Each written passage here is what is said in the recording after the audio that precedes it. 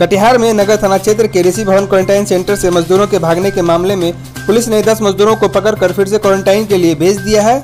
जिला पदाधिकारी ने पूरे मामले की जानकारी देते हुए कहा कि 4 मई को ऋषि भवन स्थित क्वारंटाइन सेंटर से मजदूर बारिश के वक्त भाग निकले थे, लेकिन पुलिस ने तत्परता दिखाते हुए आजमनगर थाना क्षेत्र के खुरियाल गाँव से पुनः इन लोगों को पकड़कर क्वारंटाइन के लिए भेज दिया है। इस मामले में लापरवाही बरतने वाले मजिस्ट्रेट और एक पुलिस पदाधिकारी पर कार्रवाई की गई है।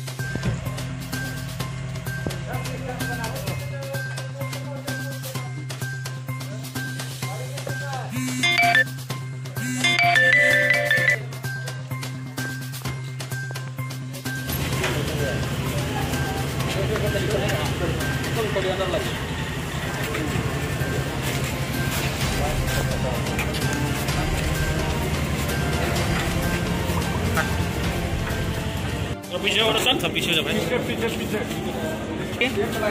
लो लो लो लो। दबा हुआ है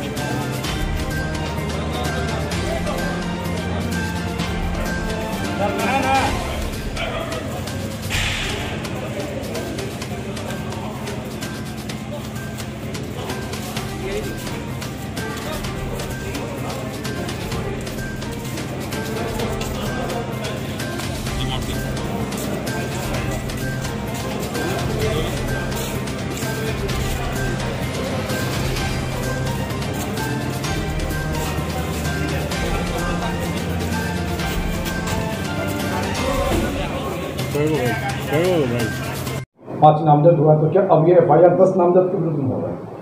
नहीं एफआईआर चेंज नहीं होती है। एफ़ आई आर में तो बहुत सिंपल सी प्रक्रिया है। एफ़ आई आर जो उपलब्ध सूचना होती है उसके आधार पर एफ़ आई आर होती है। और जाँच के क्रम में अनुसंधान के क्रम में जो तथ्य आते हैं उसको उसमें ऐड कर लिया जाता है। तो ये नॉर्मल एफ़ आई आर की तरह ही इसका होगा। कोई नामजद बदले नहीं जाते हैं इसे। तो उसी तरह से कार्रवाई। एफ़ आई आर में सर वो अटेंडेंट जो है वहाँ का भवन का उसके बारे में भी कुछ लिखा है? देखिए अटेंडेंट का तो अभी इतनी जल्दी तो उसके बारे में कहना उचित नहीं होगा, लेकिन ऐसी सूचना जो प्रारंभिक जाँच हो रही थी, उसमें आई थी कि वो भी किसी ने, किसी के स्टेटमेंट में कि उसने भी प्रयास किया, नहीं चाह रहा था कि यहाँ पे लोग रुकें। थोड़ा रिलक्टेंस था वहाँ के लोगों में कि यहाँ पे ना रोक, लोगों रोका जाए। उसी क्रम में उसने अगर कुछ रेजिस्टेंस किया होगा तो उसकी जाँच होगी और जाँच के क्रम में जैसा है उस हिसाब से विधि सम्मत हम लोग प्रक्रिया अपनाएँगे कहाँ से लोग सर मिला है?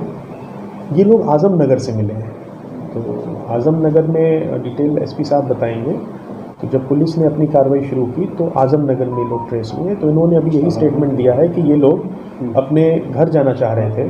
ये क्वारंटीन में नहीं रहना चाहते थे। और उनको घर वालों से मिलने की इच्छा थी।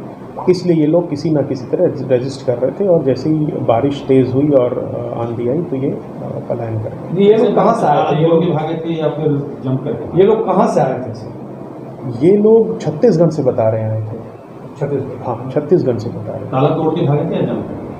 करके ये तो इन्होंने तो डिनाई किया है कि हमने ताला तोड़ा है तो वो पुलिस अनुसंधान पूरा होगा तब पता चलेगा।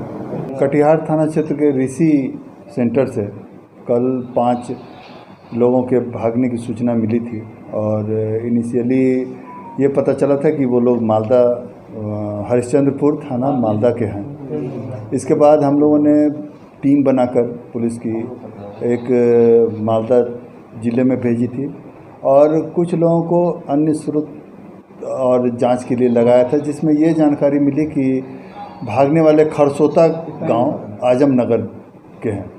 इसके बाद हम लोगों ने वहाँ पर थानाध्यक्ष के नेतृत्व में टीम भेजी।